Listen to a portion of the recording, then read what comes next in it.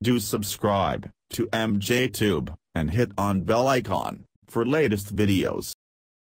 Hello guys, welcome back again. Hope you are doing well. I'm MJ. In this video, I'll show you how to instantly search in Windows 10 without opening any app or browser, all this thing, okay? So first, you need to press the Windows key and now just start typing. For example, if you want to know the cricket, World, World Cup is going on. So if you want to know the cricket, just type today cricket match and it will give the cricket result.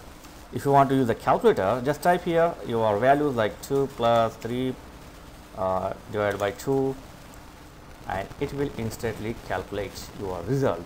Yeah, good.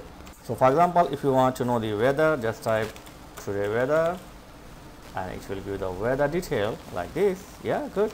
Yeah, currency. So if you want to know the uh, current currency rate, just here just type one dollar like your uh, currency into rupees like this. And it will give the instant result. You don't need to open any browser or any website to do this yeah? So like this you can know the time. Just type here and you are good to go. That's it. It's very simple yeah? And you can also open the website. If you want to open the google just type google.com and that's it. It will open the google yeah and if you want to youtube just type youtube.com here and boom it's simple and very fast yeah? And if you want to search the image for example if you want to go into search nature image just type nature images and you are good to go to open the images.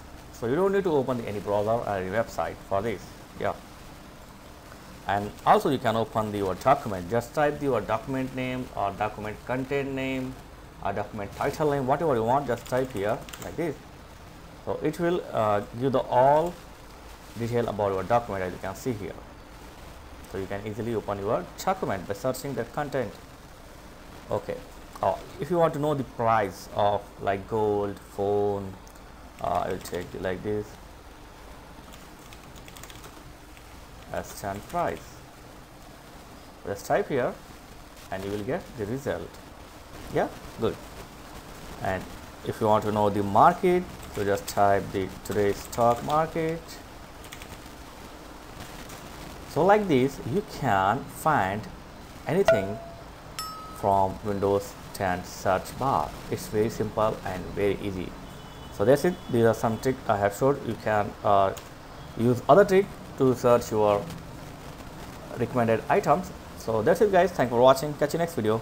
Let me know in comments uh, whether this video helpful or not please like share and subscribe. Thank you very much